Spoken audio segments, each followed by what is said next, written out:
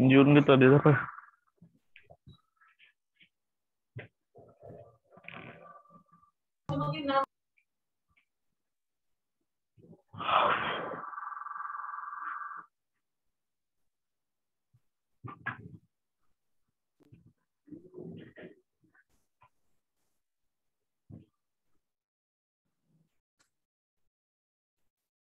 Yes, hello, hello everyone.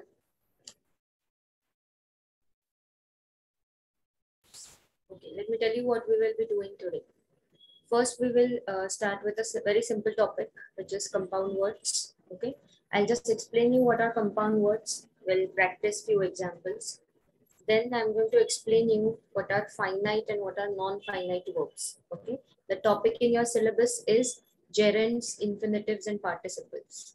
Okay, and you need finite and non-finite verbs to understand types of clauses as well. Okay, so after finite, non-finite verbs, we'll do types of clauses. And if you understand clauses, it is going to help you in identifying simple compound complex. So you don't have exactly that topic given, simple compound complex, but they there is one topic in your syllabus which is called coordinator and subordinator.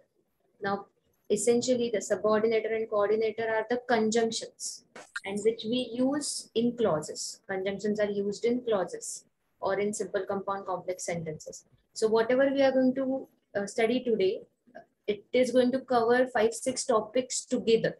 Okay, because we'll be learning about conjunctions, phrases, clauses. Fine. So collectively, you will learn all these topics. Okay. So let us start with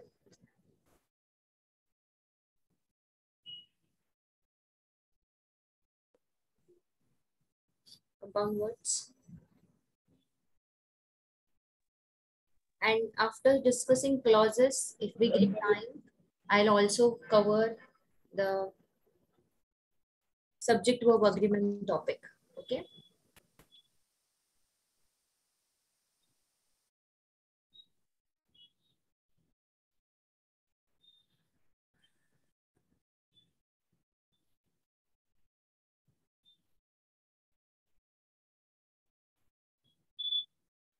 Okay, let's see what are compound words. This is a very simple topic from your language study part. When two words are used together to form a third meaningful word, the new word thus formed is known as a compound word. This new word will have a different meaning than the two original words. This new word does the work of a noun, an adjective, or some other parts of speech.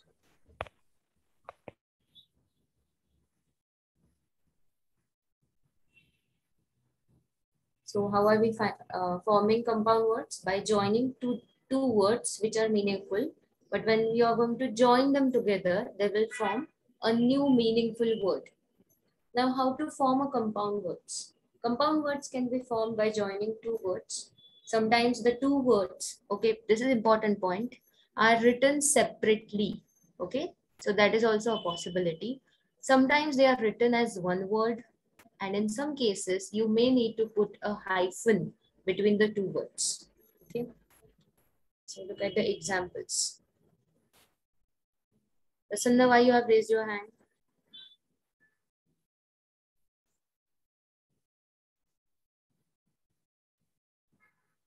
everybody please pay attention when I'm, I'm explaining and when i give you something to solve you can ask me your doubts in the chat box okay so your full i want your full attention towards what i'm saying. And if you're raising hands there is this yellow window. You must be able to see it. Okay don't raise your hands while i'm explaining please. So door plus way gives us doorway. So doorway is written as a one word and doorway is called as a compound word. Moonlight, we write it collectively. So see, moon is a meaningful word, light is a meaningful word, and we are joining it to form a new word, moonlight, which is a compound word.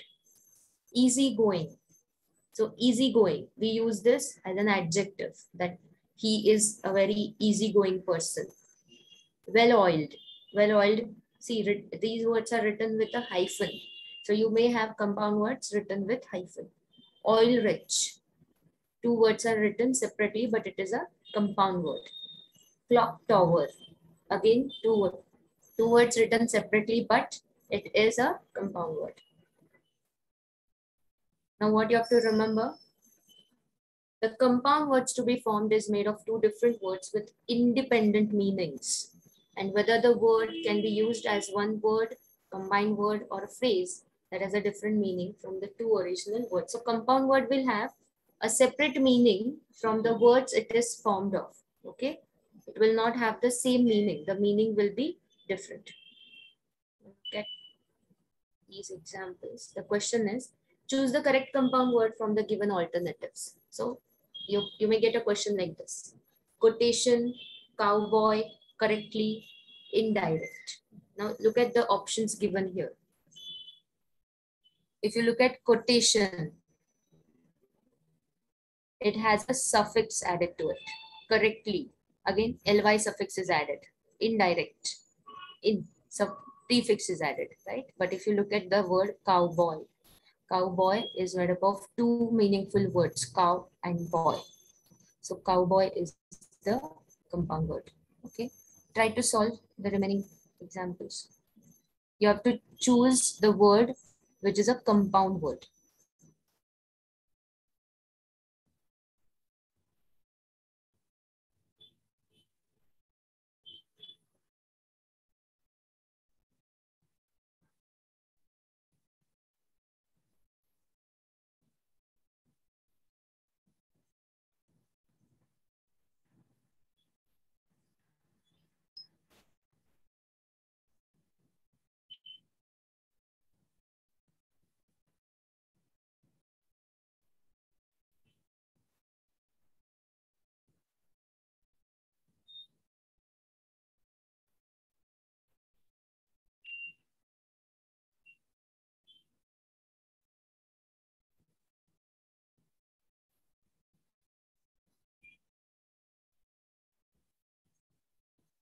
Yes, I have talked about the PDFs. You should receive it. Okay, I have forwarded that message that many of you have not received the PDFs. I have talked with the admin department.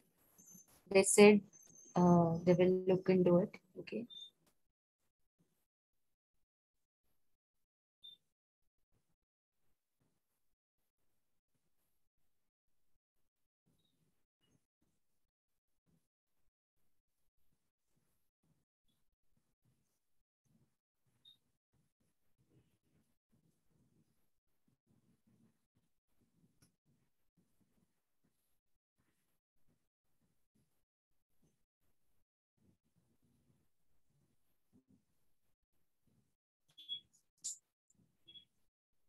Yeah.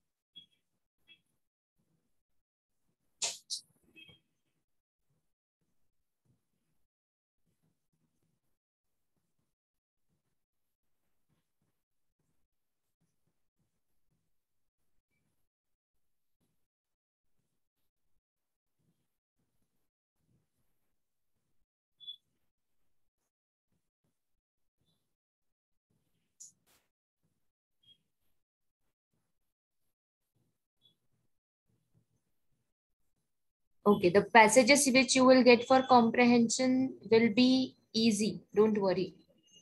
See, I'm deliberately giving you difficult questions so that you are prepared. If you prepare for difficult questions, your actual paper will feel easy. Okay.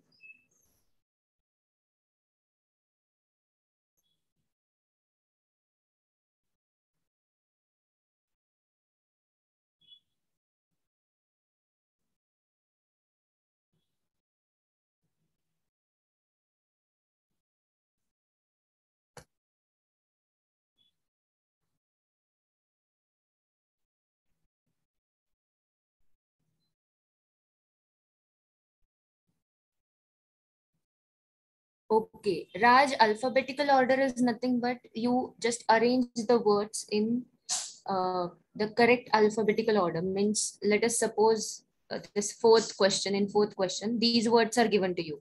High speed, appealing, walk slow, walk slowly, and momentary. And you're supposed to write it in alphabetical order. So alphabetically, you will check what is the first letter H, A, M, and W. So which word will come first alphabetically? Appealing. You have to write them in the sequence as they will appear in a dictionary.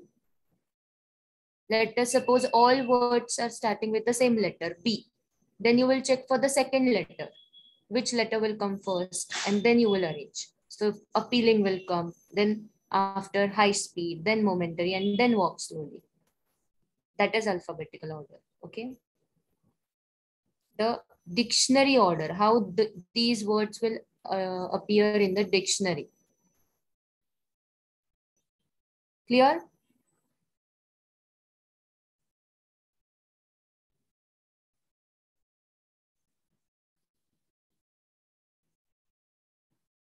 No, when you add prefix or suffix, it is not a compound word. Please remember this. Any prefix or suffix does not make a compound word. Compound word is made up of two independent words.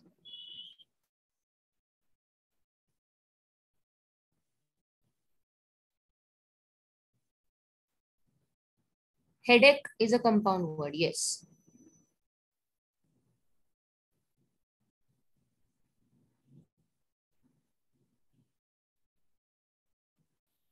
Okay, test link. Yes, I received the message. Hadapsar branch students have not received it. I'll I'll talk with them. Okay. I don't have the link. Okay, admin department is handling it, so they will share it with you. Don't worry.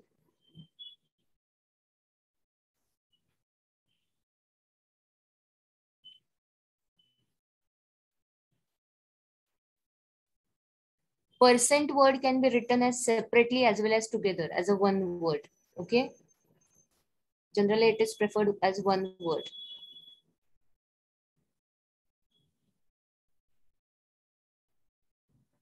No, accountant is not a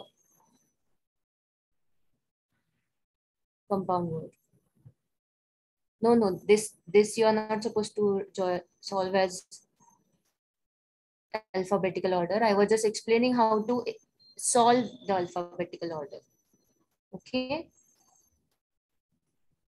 Now let's see the, the second one. What, which is the compound word here? Disbelief, forgiveness, racehorse, and going through. Yes, compound words can have a hyphen between them or they can be written as two separate words. You just have to see whether these two words have a meaning independently. Then that is a compound word. So here option C is correct. Race horse. Race horse is a compound word. Next, encouragement, calmness, handicap, and foothills. Which is the correct one?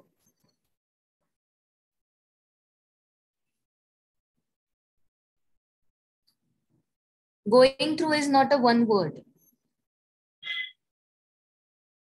Foothills. Foothills is the compound word. High speed, appealing, walked slowly, momentary. Which is the correct one? Option A. Yes. Particularly, gentleman, between, and greenery. Here, option B is correct. Gentleman, correct. Accountant, headache, steering, and worker. The correct answer is headache. Yes. Cold cream, drinking, inverted, and jumbled. Option A. Correct. Corrugated, splendor, attentive, steering wheel.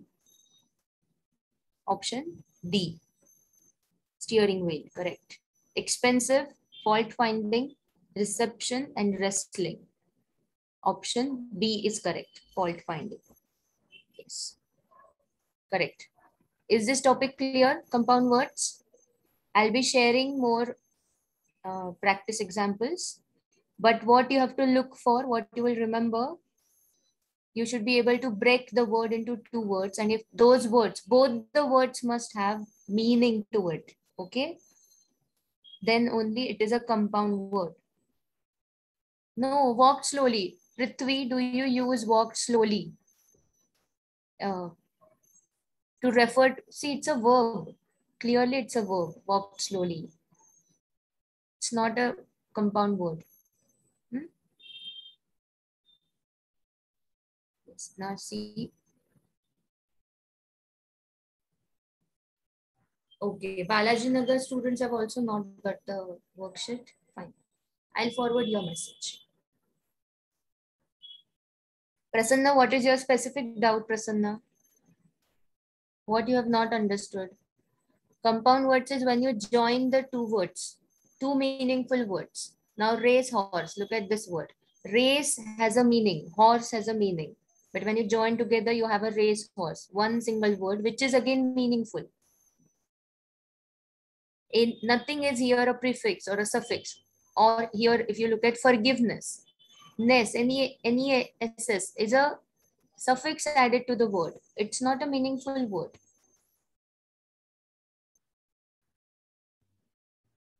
Yes, walk slowly is not a compound word.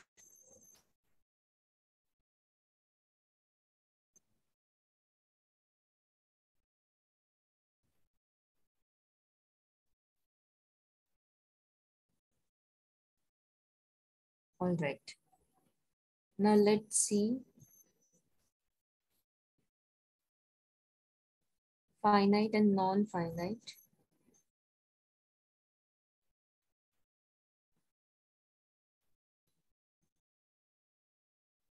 Mm, Finite and non-finite verbs.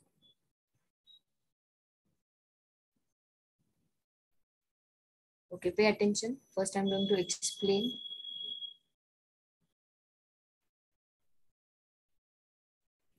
This is a different topic now.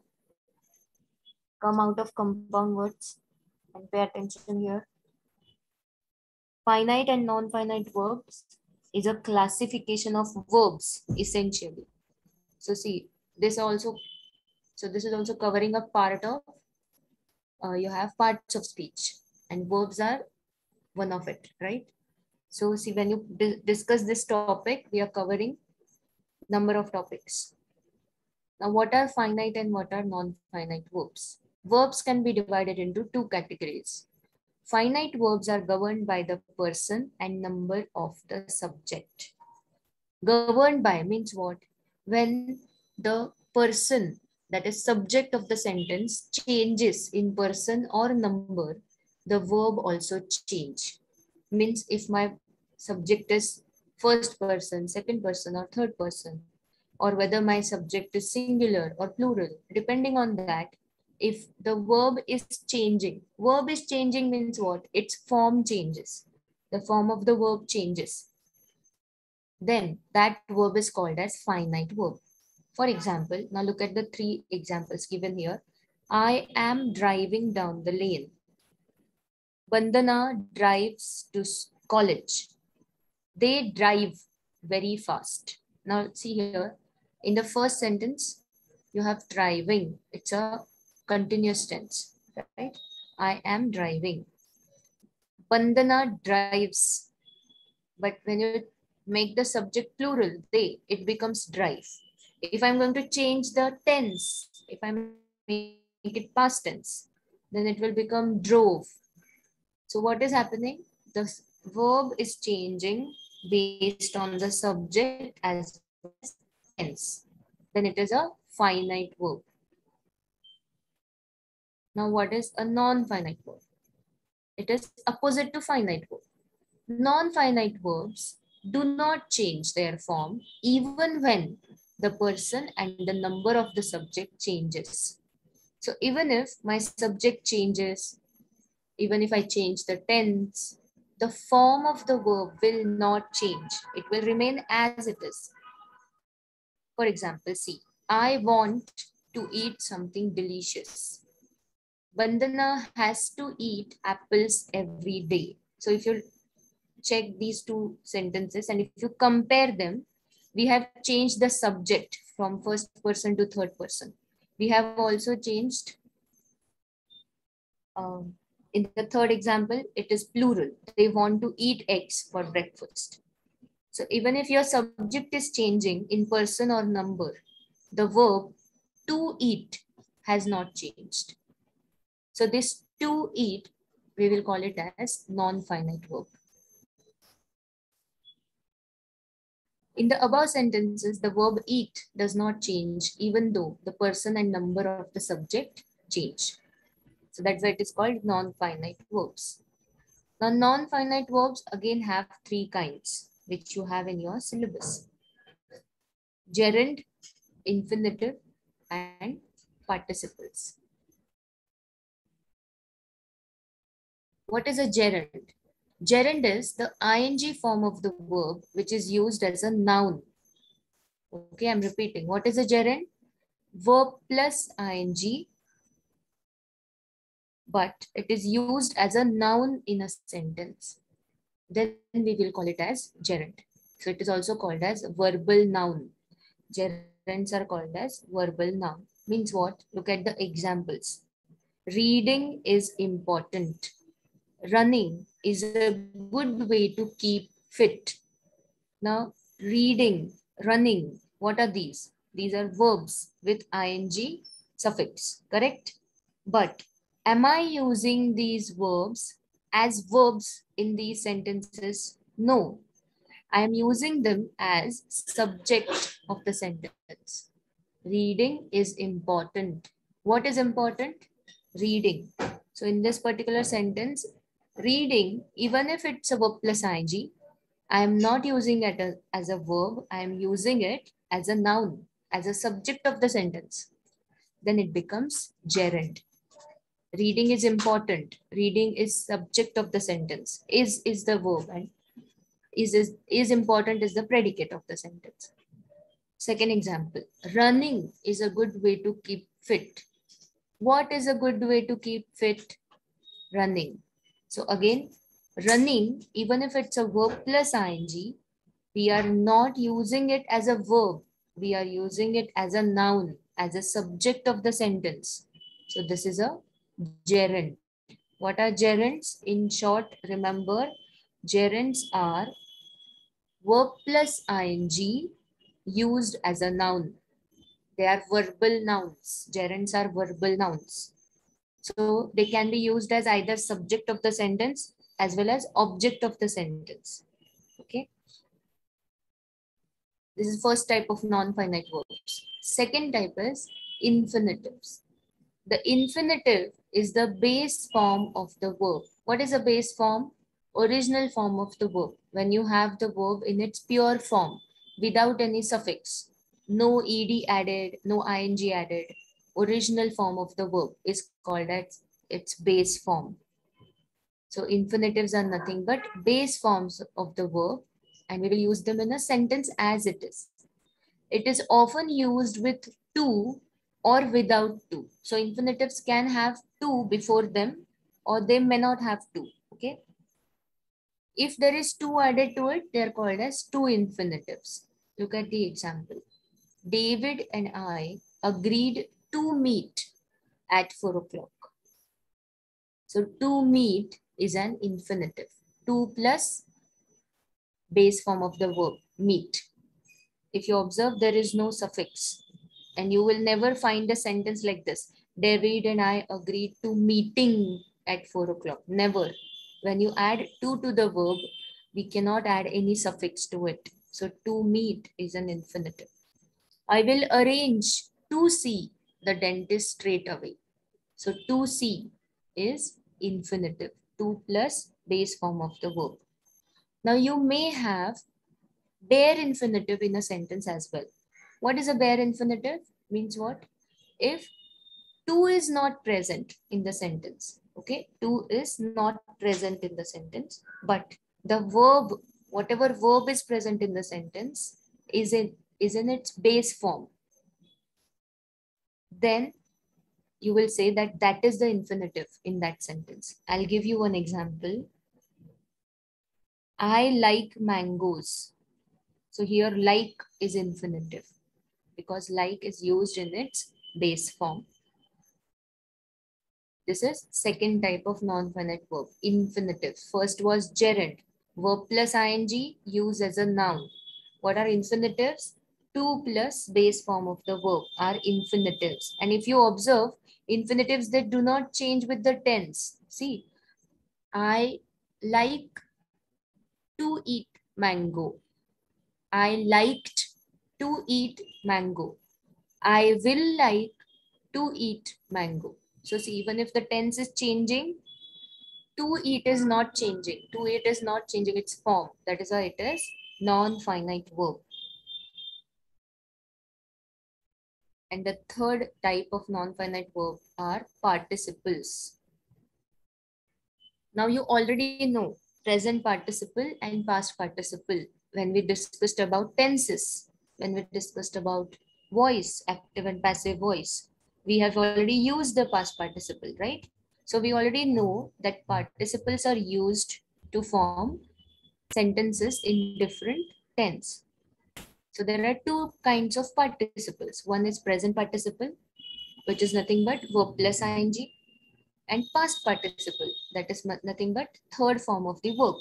So you will have suffixes as d, ed, en, t, n to the base verb, that is past participle. Now they can be used as verbs. We already know that. I have been reading. Here reading is a present participle used as a verb in a sentence. I have worked. Worked is a past participle used as a verb in the sentence. Okay. But uh, these participles can also be used as an adjective. Okay. Present participle as well as past participle can be used as an adjective in a sentence. A participle is a verb that ends in ing, present participle, or it will end with ed, d, en, right? That is past participle. And these participles may function as adjectives. What are adjectives? Describing or modifying nouns. So instead of using them as verbs, we can use them as adjectives. So they will come before the nouns. Then they are called participles. See, look at the examples. The dancing parrots entertain the crowd. Now, if you look at the underlying word dancing separately, without any context, just if I say dancing, it's a verb plus ing. It is a present participle. But here in this particular sentence, dancing is used to describe the noun parrots. So it is used as an adjective. Second example, the burnt sailboat washed up on shore. Again, what is burnt? Burnt is a past participle. But in this particular sentence, it is used as an adjective. It is describing the noun sailboat. So burnt is used as a participle. So what are participles? They are verbal adjectives. Present participles or past participles used as an adjective. Understood? Gerund, infinitive and participles.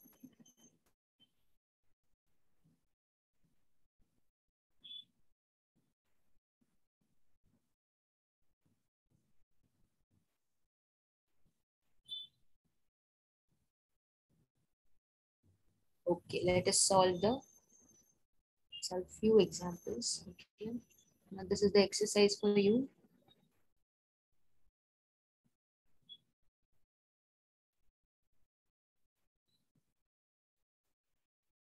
Finite and non-finite means what? Okay, you keep solving side by side. I'll, I'm explaining. Finite फायनाईटचे अर्थ काय आहे finite म्हणजे काय something which is limited there is a restriction or something which is limiting it, right? It is finite. Non-finite, there is no limitation, right? So finite verbs, what is the limitation on them? That if the subject or the tense changes, they change their form. And if the verbs are not changing, their form with subject or tense, then it is called non-finite verb. Rishikesh, what you have not understood, Rishikesh? What do you mean by normal Hindi?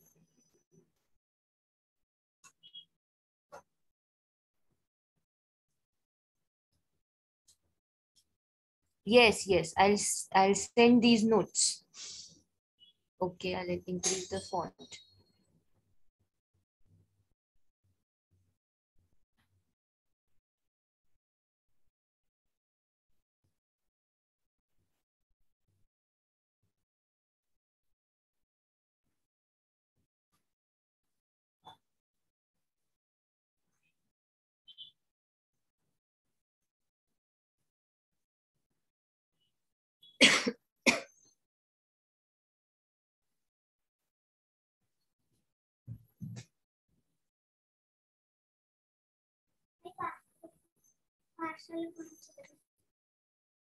Okay.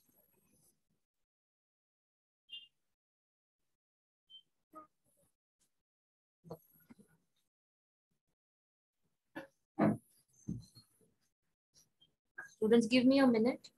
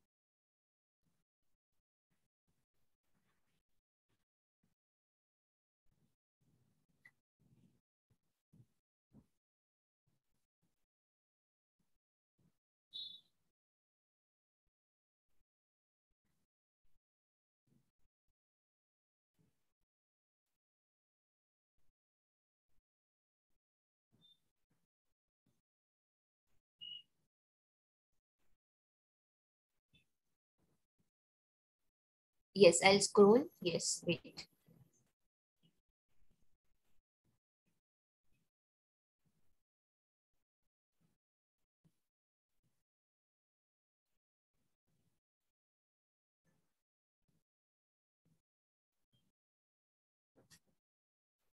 Gerund, Nishita, gerund, I'll, I'm repeating. Hindi, Rushikesh, my Hindi is not so good. I can either speak in English or Marathi. Gerund eh, is when you use verb plus ing as either subject of the sentence or object of the sentence. So, reading is my hobby. Reading is subject. So, that is gerund.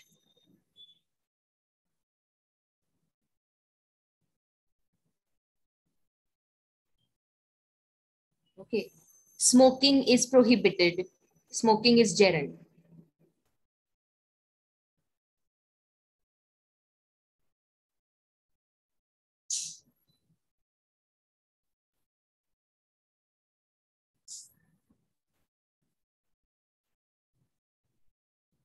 Yes, so gerund will be used as subject of the sentence or object of the sentence. Correct.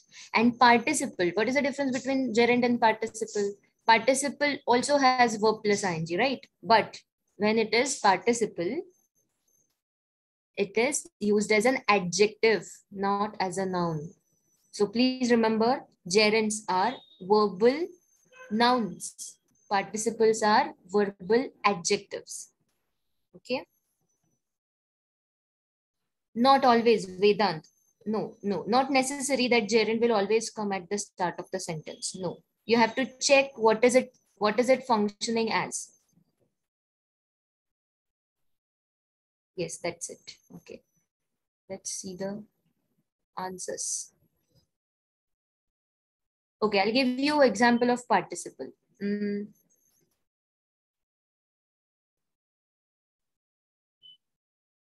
I saw the movie Burning Train. Now, burning train. What is a train? Train is noun. And I'm using burning to describe that noun. So I'm using burning as an adjective. So it becomes participle.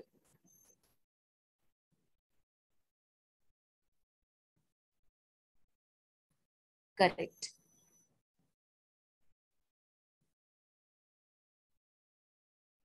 No. Uh, okay. Yes, Shravani, correct, correct. Okay, tell tell me the answers now. Okay, somebody is asking me how many PDFs I have sent. I think on the first day I had shared seven seven PDF documents, and yesterday I, I've shared four. See here, in the following sentence, identify the underlying word, whether it is gerund, participle, infinitive, or verb. Jennifer said the best place to go on Friday is Playtime Pizza. So to go is an infinitive. It is an infinitive, correct. To plus verb, base form of the verb, correct. Second, and same question. The plan accepted by the committee involves a tax cut. Here it is used as verb. It is main verb of the sentence. Accepted. Option C is correct.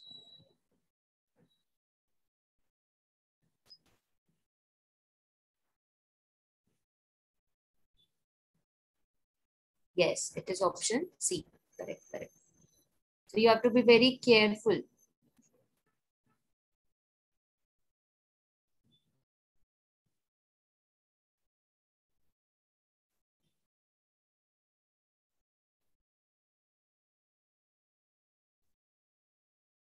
Yes, both are verbs. Anushri involves and accepted. Both are used as verbs here. Correct.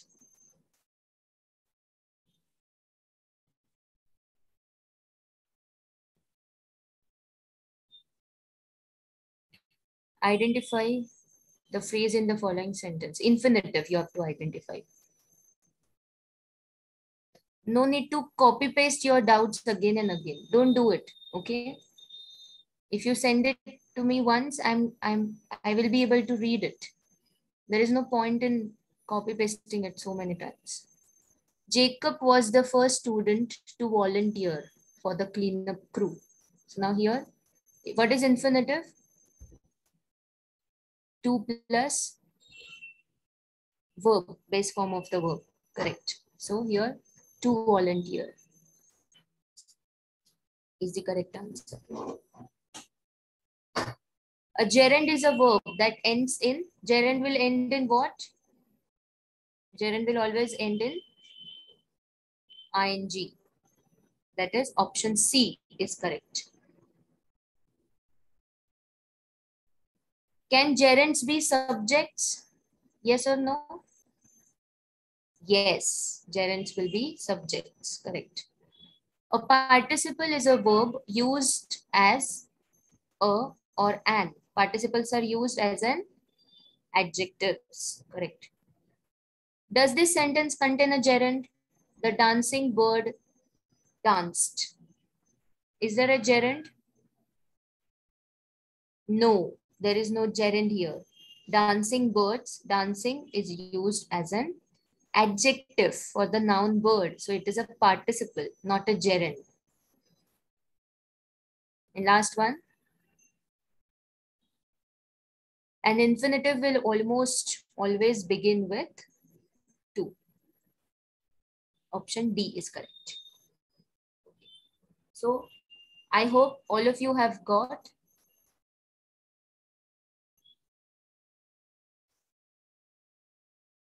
the idea of finite and non-finite verb, right?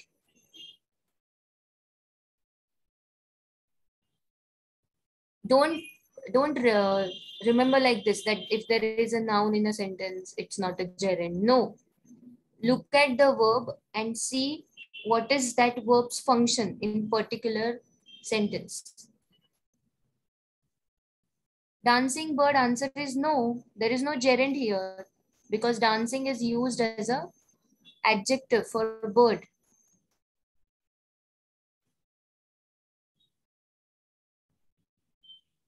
Yes, Vedant infinitive can start without uh, to as well.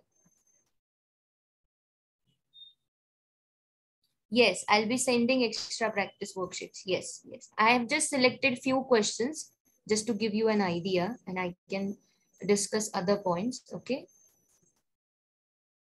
Dance is also not a gerund. Gerund is never come. Gerund will never have ed. Gerund will always be with verb plus ing.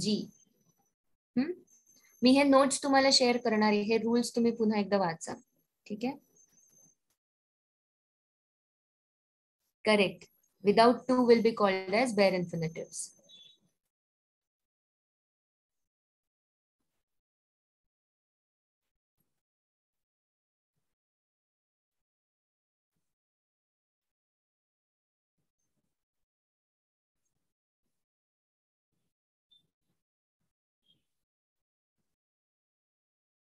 Finest कसं ओळखायचं ऋषिकेश म्हणजे काय what is your question gerund can be subject और object object म्हणून पण येऊ शकतो ना gerund I I send you the worksheet yes participle is used as adjective yes participle is when you are using adjective participle चे दोन types आहेत past आणि present so if you are going to use it as an adjective in a sentence then it is a participle look here um सी मी तुम्हाला same example explain करते बघा I have been reading let suppose if I take this example finite तुम्हाला ओळखायला येणारच नाही finite नाही विचारणार कोणी नॉन फायनाईटच विचारणार here I have been reading reading काय वापरले आपण in this particular sentence reading is a present participle पण आपण ते इथं वर्ब म्हणून वापरलंय correct we are using it as a verb here in this particular sentence i have been reading yes students yes or no i have been reading reading is used as a verb here correct now if i say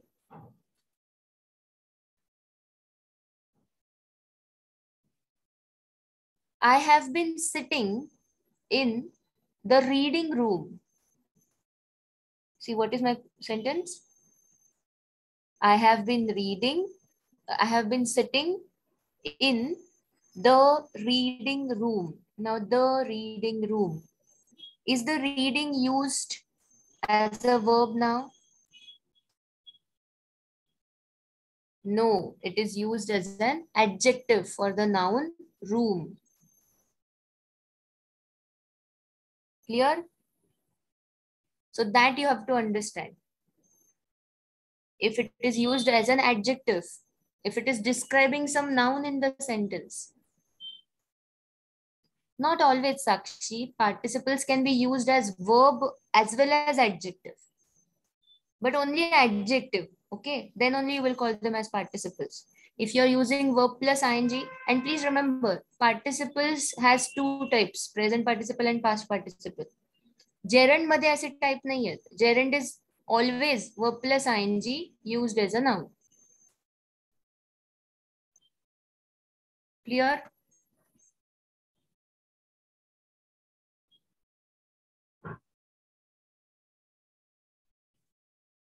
Okay. आता बघितलं ना आपण आर्या इथं example आहे आता. Dancing parrots dancing हे participle आहे ना व प्लस आय जी आहे ना. पण तू याला इथं वर्ब म्हणून वापरलेस का? नाही. आपण त्याला पॅरेट्सला डिस्क्राईब करायला वापरतोय.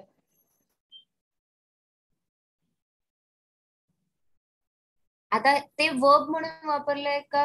म्हणून वापरले ते तुम्हाला सेंटेन्स वाचून ठरवावं लागेल ना no does not come under gerund. Participle comes under non-finite verbs. Participles, gerunds, and infinitives. These are three kinds of non-finite verbs. Participles are simple terms. Remember, participles are verbal adjectives. Gerunds are verbal nouns. Infinitives are two plus base form of the verb. Simple.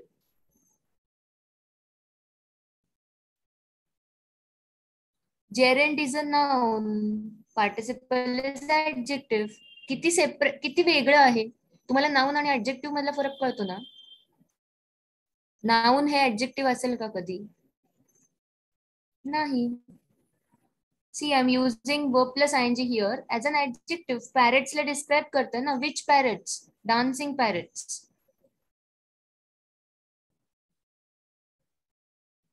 But look at the gerund.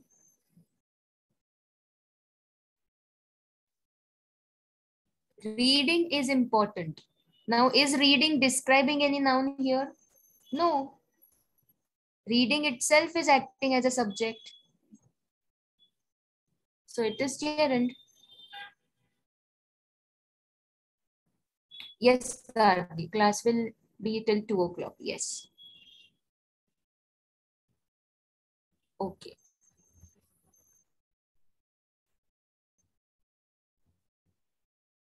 सगळ्यांनी दोन मिनिटं डोळे मिटा आणि दीर्घ श्वास घ्या आपण आता नेक्स्ट टॉपिक स्टार्ट करणार आहे clauses yes Chetana what is it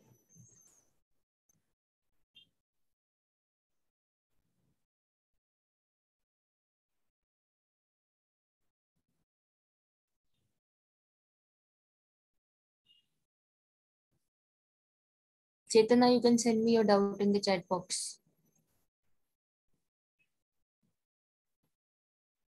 Okay Rudra alphabetical order मध्ये काल तुम्ही बघितलं असेल कालच्या पेपरमध्ये tell me the first word last word the middle word असं तुम्हाला सांगायचं right so if there are five words the third word will will be the middle word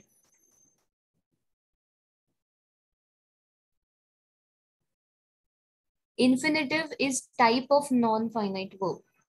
Who is this? Uh,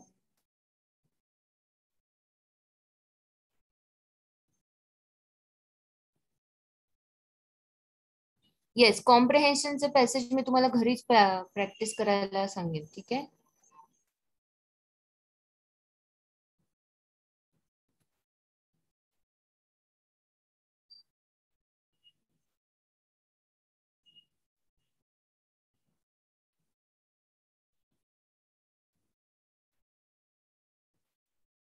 Correct. Correct. Alphabetical order is just like the dictionary.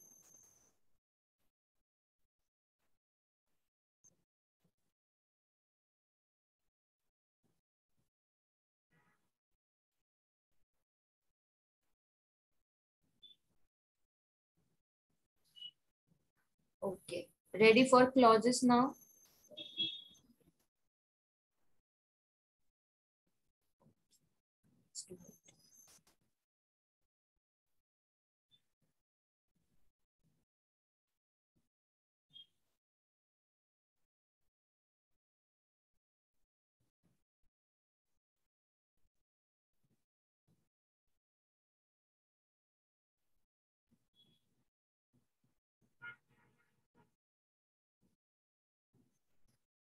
Yes, Swapnil. Yes, we have, we have discussed compound words and finite, non-finite. Now I am explaining clauses. Okay. To understand clause, my voice is low. Okay.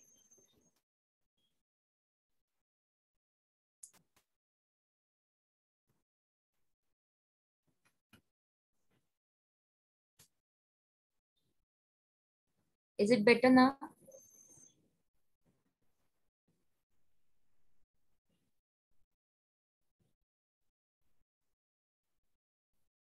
Okay, now you need to understand the difference between a phrase and a clause. Okay. And there are three types of phrases, three types of clauses. What are those types? Adjective, adverb, and noun. Okay. Yes, Manasi, I read your I read your message. I'll check it. Okay. Now, pay attention now here. Everybody, don't think about anything else. 100% focus. And listen, listen, just listen, actively listen and try and grasp it. First, recall what is the function of noun in a sentence. What does noun do in a sentence? Noun is used as a subject in a sentence. It is used as object in a sentence. Okay, so that is the function of a noun. What is the function of an adverb? The function of adverb is to modify the verb. Adverb is going to give extra information about the verb. What is the function of adjective? Adjective modifies nouns. So it describes a noun. It gives us extra information about the noun. So we know that noun can be a single word, adverb can be a single word, and adjective can also be a single word. But instead of writing a single word, if we have groups of words, two, three words together, functioning as adjective, functioning as adverb, or functioning as noun, then we get adjective phrases or adjective clauses, adverb phrases or adverb clauses. Okay, so instead of a single word, what do we have? Groups of words doing the same function. Okay, the function has not changed. So if functions are clear in your mind, you will understand the types of phrases, types of clauses as well. Now first understand what is a phrase. Phrase is a group of words. Now here particularly they are talking about adjective phrase. Adjective phrase is a group of words which does the Prasanna I'm trying to explain. Wait. First listen what I'm explaining and then ask me the doubts. Okay. Group of words which does the work of an adjective phrase will be group of words which is going to work as an adjective.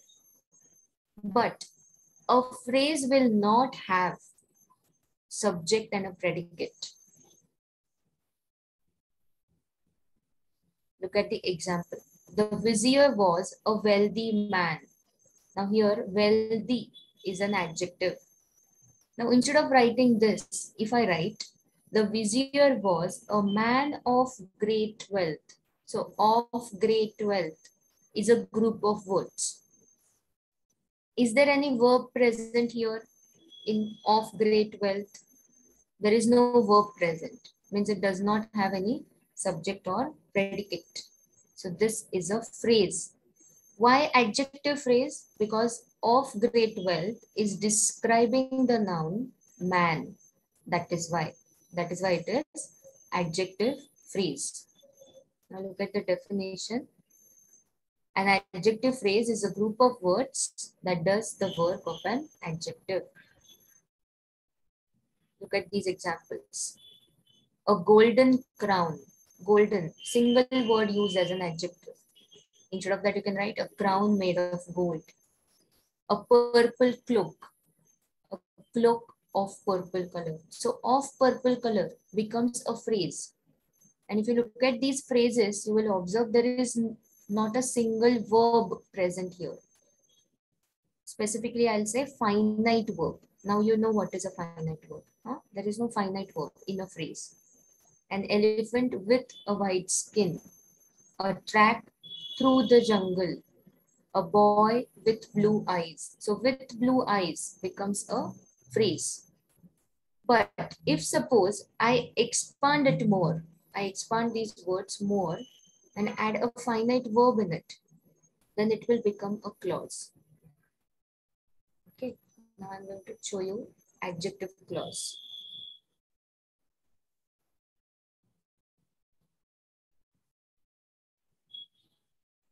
So you'll be able to compare the two. Okay, we have seen adjective and adjective phrase. Hmm. Now see what is adjective clause. Look at the group of words in the italics. Okay, the umbrella with a broken handle is mine. Now see, umbrella is the noun and with a broken handle, these words are describing the noun umbrella. So these are group of words which are describing the noun umbrella. So I'll call this as adjective phrase. This is an adjective phrase because they are describing a noun. They are doing the function of an adjective. Now the same sentence can be written as, look at the second example, sorry. The umbrella which has a broken handle is mine. Now look at these words. Which has a broken handle is mine. Again, which has a broken handle is describing what? Umbrella, which is a noun. So I have these group of words which are describing a noun. Now, if you look at the highlighted part here, tell me, is there a finite verb present in these in this group which has a broken handle? Is there a finite verb? Yes. And what is it? Has. Has is a finite verb, correct?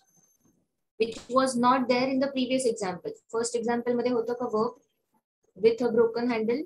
No. But here we have a finite verb. So this is a clause. This is not a phrase. So what is a clause? Clause is group of words which have their own subject and predicate. Then they are called as a clause. A subject and predicate. Predicate, to have a predicate, what is the requirement? There must be a finite verb present. Then it is a clause. And particularly this clause is functioning as an adjective. That is why I will say this is adjective clause. Look at the explanation given below that. The first group of words with a broken handle describes umbrella. That is, it qualifies the noun umbrella and the work of an adjective. It is what we call an adjective phrase. The second group of words which has a broken handle also describes the umbrella and so does the work of an adjective. But because it contains a subject and a predicate of its own, it is called as an adjective clause. So for a clause, what is the requirement? The clause will have its own subject and a predicate. In other words, you can remember a clause will have a finite verb present in it. Then it is a clause. Now look at this example again. The umbrella which has broken handle is mine. I can break this sentence into two parts. The first part will be the umbrella is mine. And second part is which has broken handle. Now tell me in this entire sentence, how many finite verbs are present?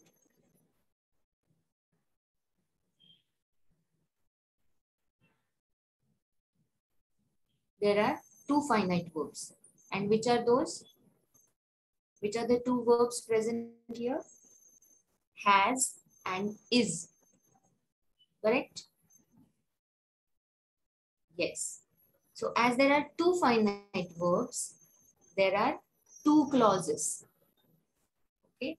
So you can note this point. Number of finite verbs equals number of clauses.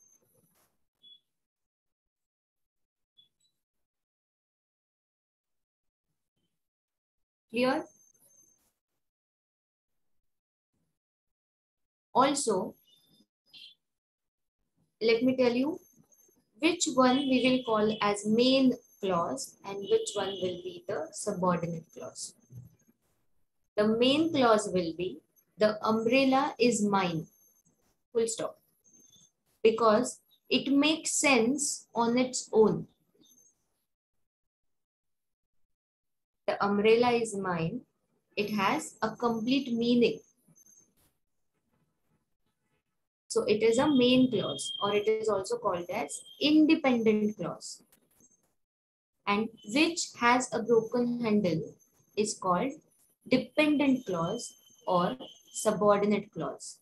Why dependent or why subordinate? Because you cannot just write which has a broken handle full stop. Is it making complete sense? If you write which has a broken handle.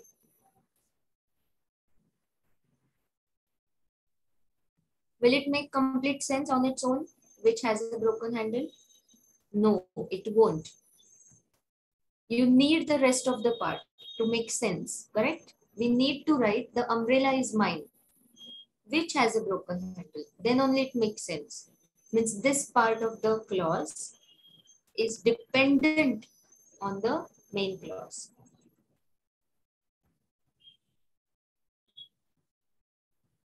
Clear up to this? What we have seen? What is a phrase? What is a phrase? Group of meaningful words. But it will not have a subject and a predicate.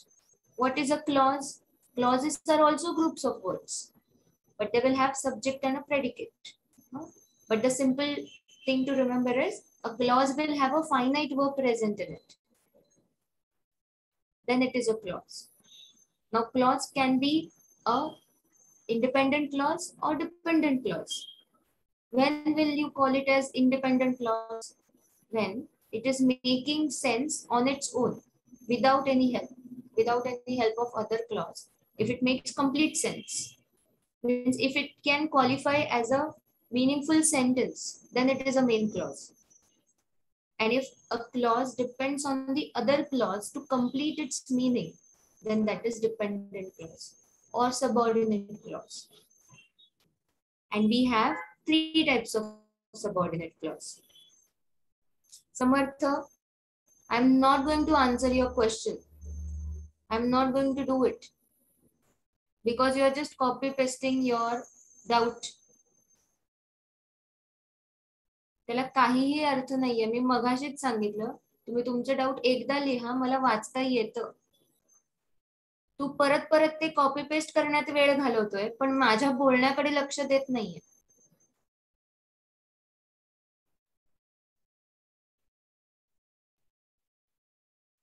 मी तुझा doubt वाचलाय. तुमचे doubt वाचत वाचतच मी explain करते मग माझ्या एक्सप्लेनेशनमध्ये तुमच्या डाऊटचा answer येणार आहे.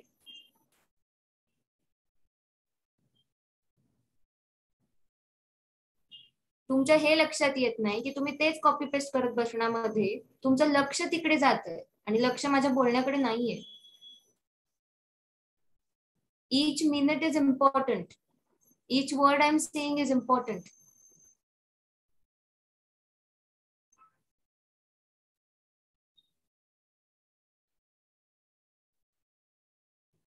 Harshal it won't happen that subject is absent object can be absent. Object is not compulsory.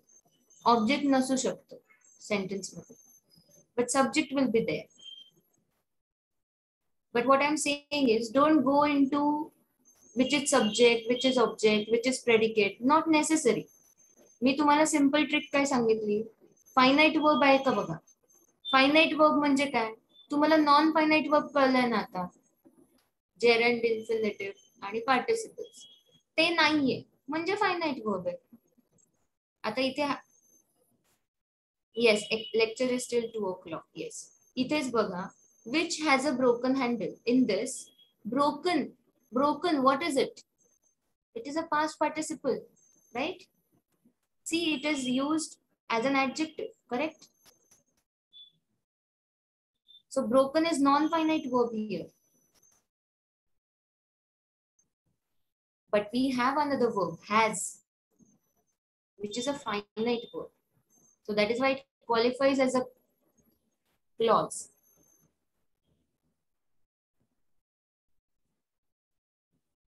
Clear? Let's solve few examples. Kalchi examples baga, We have just uh, finished with adjective clause. Okay, adjective clause. What is the function of adjective clause? It is going to describe a noun in a sentence. It is going to give you extra information about the noun. Okay. Read the first sentence. Mary had a little lamb whose fleece was white as snow. What you're going to do? Yes, Nishita. Main clause will also have a finite verb. That's why I, I asked you to write down. number of finite verbs is equals to number of clauses. So if there are two finite verbs, there are two clauses, but you will have to find out which is main clause, which is subordinate clause. Now look here, Mary had a little lamb whose fleece was white as snow. See, I can separate it into two parts. Mary had a little lamb can be of the first half and whose fleece was white as snow, second half. These are two clauses. Observe, are there two finite verbs? Mary had a little lamb. Pratnya, I am explaining again. What is the finite verb here? Had. Had is a finite verb. Yes? And look at the second half. Whose fleece was white as snow? What is the finite verb?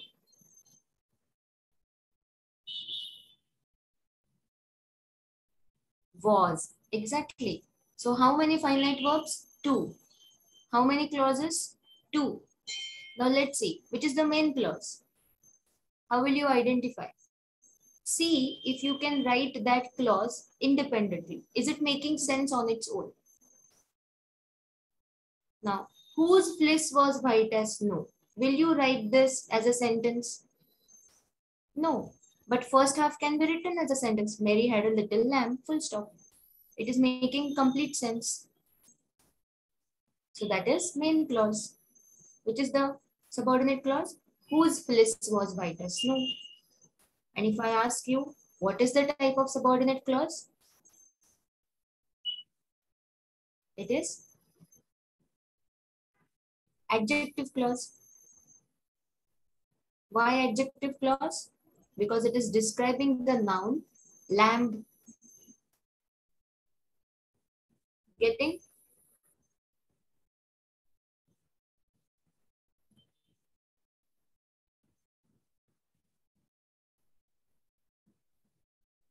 Look at the second example. The letter brought money, which was badly needed. With practice, you will get it. The letter brought money, which was badly needed. Try to make two parts here. Which are the two clauses? The letter brought money. This is the first half. And second half is, which was badly needed. Check are there finite verbs present?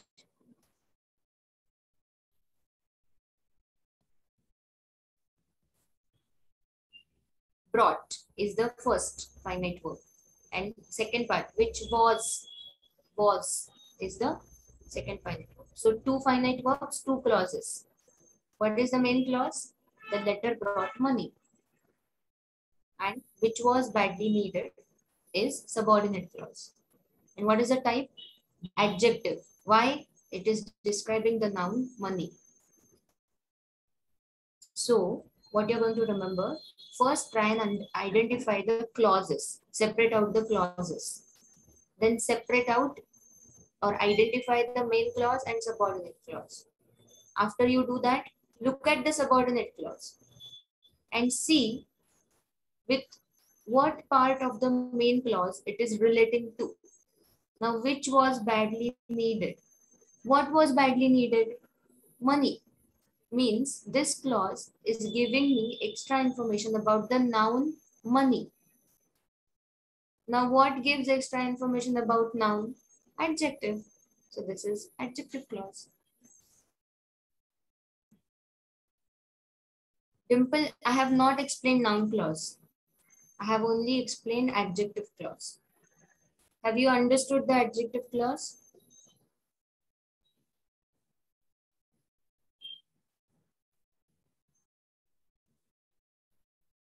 Look at the third example, one more example. The house that I live in belongs to my father. Now see, the subordinate clause is placed in between. The house that I live in that I live in, these words are describing the noun house. And what is the main clause? The house belongs to my father. So the and two finite verbs, see, live and belongs. Two finite verbs, two clauses. Main clause, the house belongs to my father. Subordinate clause, that I live in. Which house? That I live in. So adjective clause. Clear?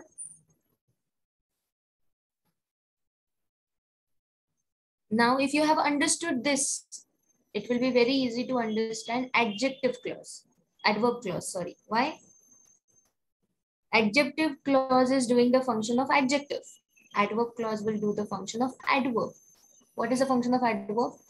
To describe verb, right?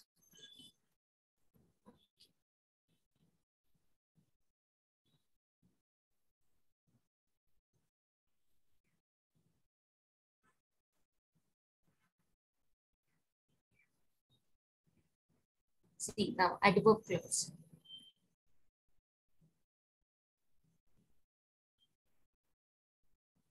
First example, they rested at sunset. So rested when? At sunset. What is it? It is a phrase because there is no finite verb.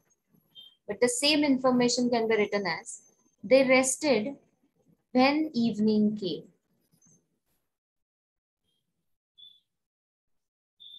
When evening came. When did they rest? When evening came. So I'm getting the information about time. And this clause is relating to the verb rested. See, when evening came, are you getting any extra information about the noun here? Any noun? No. When evening came is not describing any noun. It is giving us, it is relating to the verb. It is modifying the verb rested. Rested when? When evening came. So this becomes adverb clause. So a clause which will function as an adverb is called adverb clause. Let's discuss examples. You may sit wherever you like. See how many finite verbs are present. You may sit wherever you like. Which are the finite verbs?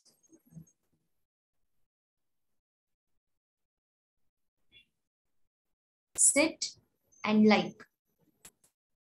Correct? So you may sit becomes main clause and wherever you like becomes subordinate clause. And why adverb clause? Because it is relating to the verb sit.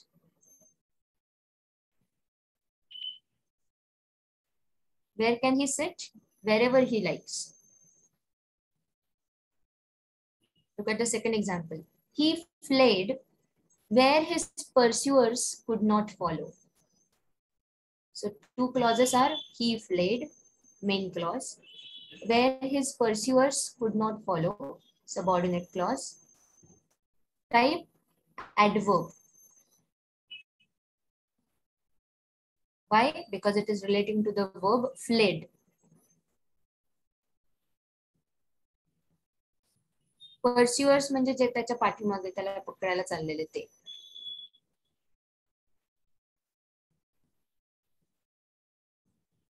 yes also you must have observed subordinate clauses are always starting with some conjunction.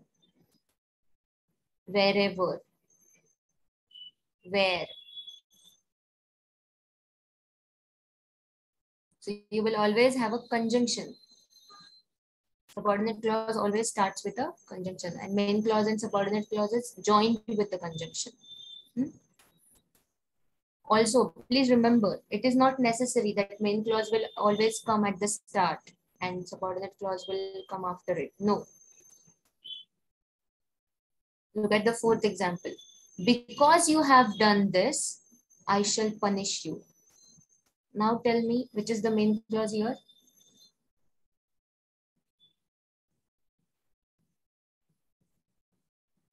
I shall punish you. Correct. I shall punish you is the main clause. And why? Why I'm going to punish you? Because you have done this.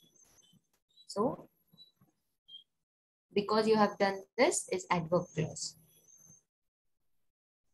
Here, adverb clause. Adverb and adjective clause are similar. Adjective clause is going to relate with the noun in a sentence. Adverb clause is going to relate with the verb in a sentence. Okay. I will be sharing this PDF with you all. So you can again go through it. Okay.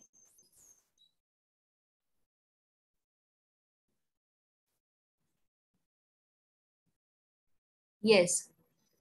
Yes, Harshal subordinate clauses type असतात.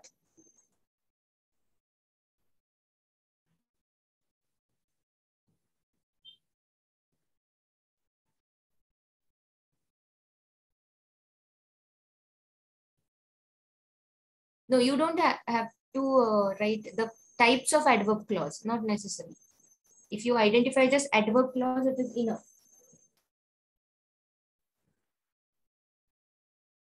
Okay, somebody is asking me, Aditi, yes, fourth one here. You want me to explain this. See, I am monarch of all. I survey. I survey is the subordinate clause.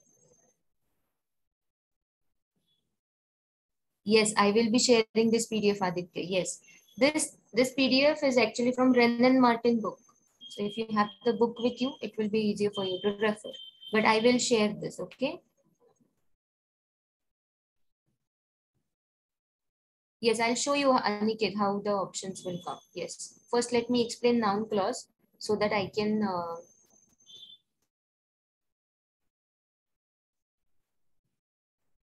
send you worksheet as well and we, we can finish with this topic as well.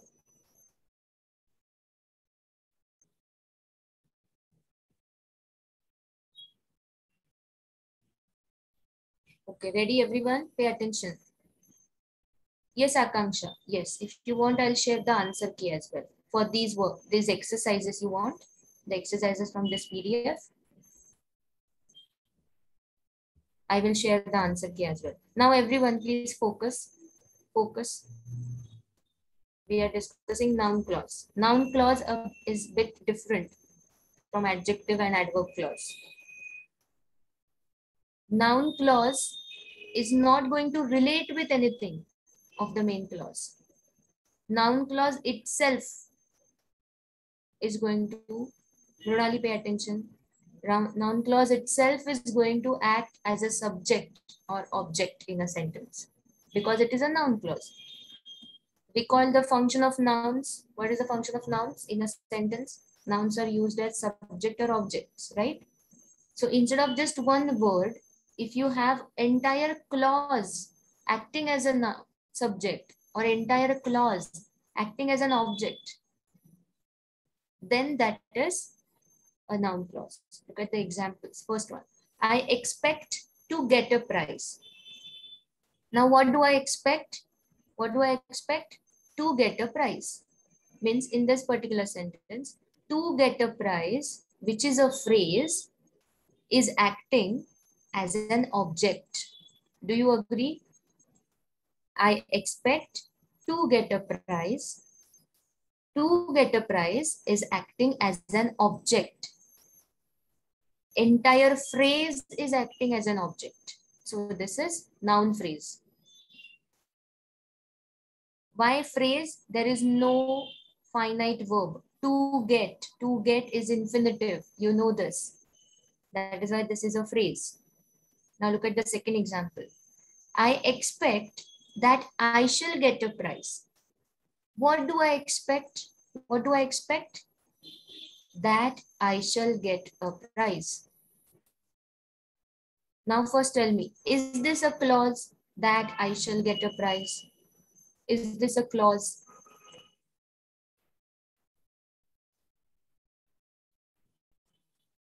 Yes, it is a clause. Why? There is a finite verb, shall get. Finite verb is present. Which is the second finite verb? Expect. Correct? So I expect this part becomes main clause Correct, Harshal. If it is object, you will ask what to the verb. Correct. So I expect is main clause and that I shall get a prize is subordinate clause. Now why this is a noun clause? Because this entire clause is acting as an object of my sentence. या पूर्ण वाक्याचं that I shall get a prize is acting as an object. That is why it is a noun clause. Current being object is the function of a noun. You can have just, okay. Now how you are going to check whether your answer is right or not? Try to replace the noun clause with a, with a noun. Just replace it with a noun and see if it makes sense. Okay. Now I'm going to replace this, that I shall get a prize with a noun. I expect a gift. What do I expect? A gift. So a gift is object of the sentence, right? So yes, I am able to replace the noun clause with a noun. So my answer is correct that this is a noun clause. Is everyone getting? What will be the function of noun clause? Noun clause will itself act as either subject or object of the sentence. Okay, I'm going to explain few examples. Look here. I often wonder how you are getting on. If you try to break this into two parts, which will be the two part? I often wonder. Yes, Priyanka, I'll finish in two, three minutes. I often wonder, first half. How you are getting on, second half. Okay. So what do I wonder? How you are getting on. So this entire clause is acting as an object. That is why it is a noun clause. Second one, I fear that I shall fail you. What do I fear? That I shall fail you. That I shall fail, sorry. So, noun clause. He replied that he would come. What did he reply? That he would come. So see, entire clause is acting as an object. You don't have a single word as an object. We have clause as an object. So that's why this is noun clause. Okay, I'll show you one example with subject of the sentence. Look at the ninth sentence. That you should say this is very strange. Right, take two parts here. What are the two, two parts? That you should say this.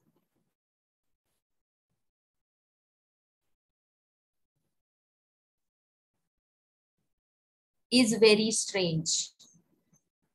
What is very strange? That you should say this. Correct? So this entire clause is acting as subject of the sentence.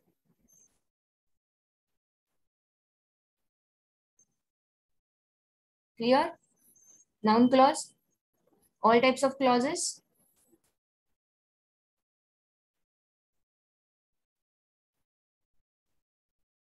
Soham participles are verbal adjectives.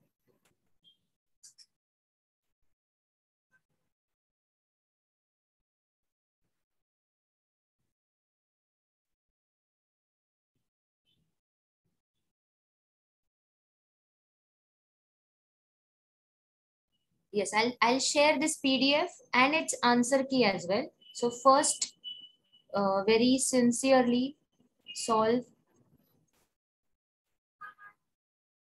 um, the exercise and then you can check okay? And like this i will share you mcqs as well. See you will get a questions you can get questions like this. These are the sentences and they are asking what is the highlighted part or what is the type of? Can you see this word document? So see highlighted part is dependent clause or independent clause. John did his homework before he went to bed. So the highlighted part is independent clause like this. Okay? Or they may ask you to identify the type of clause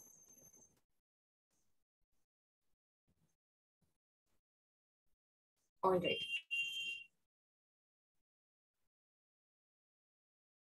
Okay, I'll stop here today. Thank you everyone. Bye-bye. Okay, listen, I'll be meeting you in the next week now. So in between, I'll be sharing worksheets and notes, okay, for you to study the simple parts, simple points. Yes, bye-bye, bye-bye.